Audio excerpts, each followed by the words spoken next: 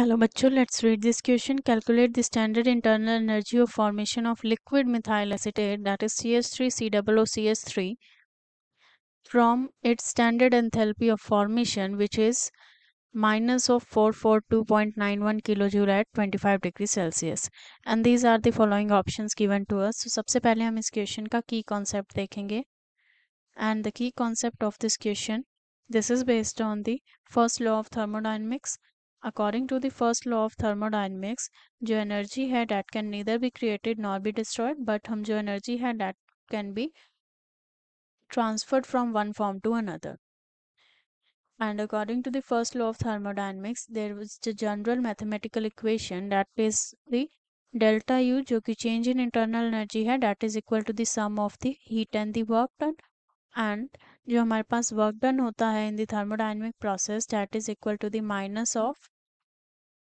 P V P is the pressure, V is the volume and we will write the same here. Q plus Q minus हो जाएगा यहाँ पे sign. यहाँ पे आएगा delta P we change है ये डेल्टा पी वी आएगा। Delta P V and now we will take the pressure constant constant pressure लेंगे so heat will be at the constant pressure minus P delta V हो जाएगा P constant है तो। And according to the ideal gas equation हमारे पास P V होता है N R T के equal and for this P delta V will be equals to the delta N R T and here we will write as delta N G B show करता है pressure को delta V is the change in volume R is the gas constant T is the temperature जो delta N G है, ये show करता है change in the number of moles of the gaseous product and the reactant में जो change आता है। Now जो हमारे पास क्यूपी है that is the heat at the constant pressure and this is equal to the enthalpy so here we can write it as delta H minus delta N G R T so ये equation we have to use for this question to find the answer and according to the given question standard forms ली गई है so here we will write in the form of the standard delta u naught is equals to delta h naught minus delta ngrt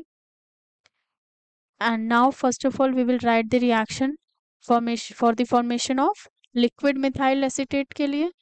and that is formed by the carbon solid hydrogen gas oxygen gas जब combine होते हैं, then it leads to of formation of the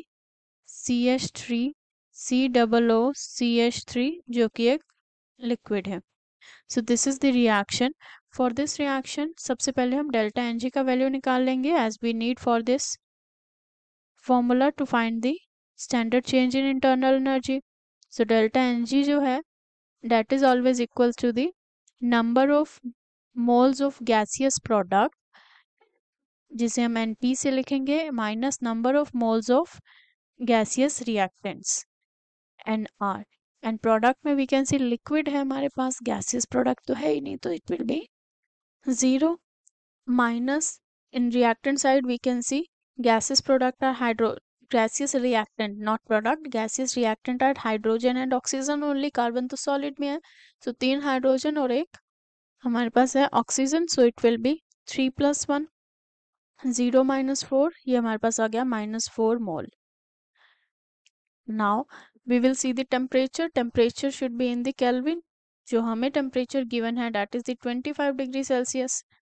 so twenty five degree Celsius given है kelvin scale में convert करने के लिए it is added to two seventy three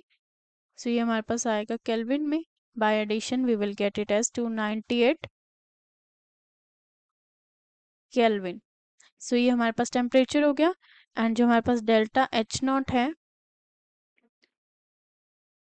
उसके लिए वैल्यू है that is given in the question minus of four forty two point nine kilo joule this is given and जो हमारे पास आर है गैस कांस्टेंट उसके लिए the value is eight point three one four joule per kelvin per mole and अगर हमारे पास delta H not kilo joule में है so we will convert it into the kilo joule. एक joule में जो kilo joule होते हैं that is ten raise to power minus three so इतने जूल के लिए अगर हमें चेंज करना है so it will be multiplied to the ten raise to power minus three 8.314 multiply 10 raised to power minus 3 kilojoule per kelvin per mole. So for this, we have all this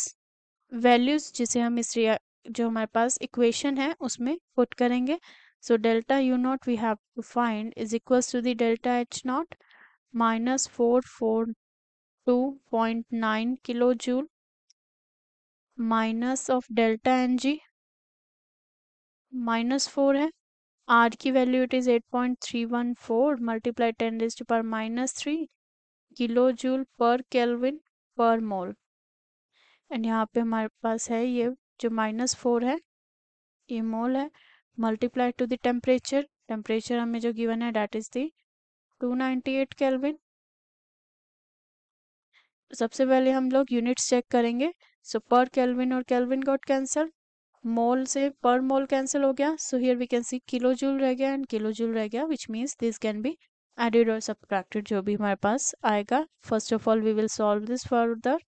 ये हमारे पास है four four two point nine minus में। And here we have minus का जो sign है, and we have minus minus minus multiply होके plus हो जाएगा। And four multiply to the eight point three four and multiply to the two ninety eight.